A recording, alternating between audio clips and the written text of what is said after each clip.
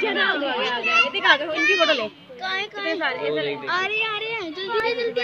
अरे दो बच्चे हैं खींच खींच एक मम्मी इनकी फेस ब्यूटी पे करती ये बड़ा खींच खींच